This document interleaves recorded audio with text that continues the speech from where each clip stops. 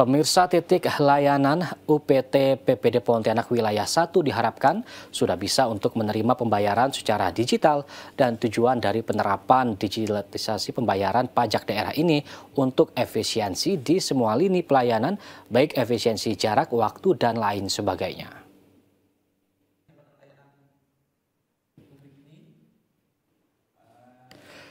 Kepala UPT PPD Pontianak Wilayah 1 Edi Gunawan mengungkapkan pihaknya mendapat banyak masukan mengenai penerapan digitalisasi pembayaran pajak daerah. Edi menyebutkan digitalisasi pembayaran pajak daerah di UPT PPD Pontianak Wilayah 1 sudah berjalan dalam dua tahun terakhir.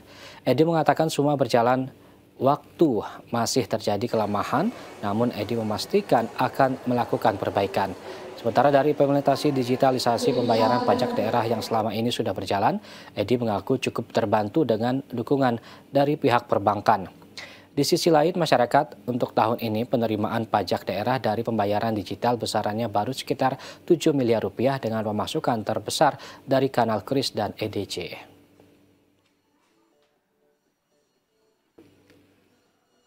Persentase masyarakat melek digital juga kita harus petakan dulu.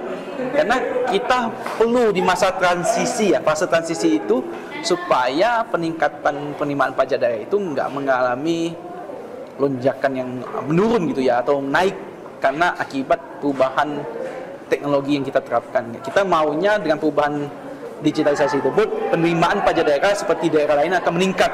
Tentunya itu yang kita inginkan Edi Gunawan mengungkapkan UPT PPD Pontianak Wilayah 1 siap menerima masukan dari semua pihak agar realisasi pembayaran pajak daerah lewat digitalisasi berjalan dengan optimal.